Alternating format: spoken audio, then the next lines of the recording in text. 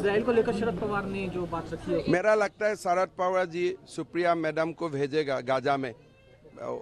Hamas के लिए लड़ने के लिए मेरा लगता है शरद पवार जी सुप्रिया मैडम को भेजेगा गाजा में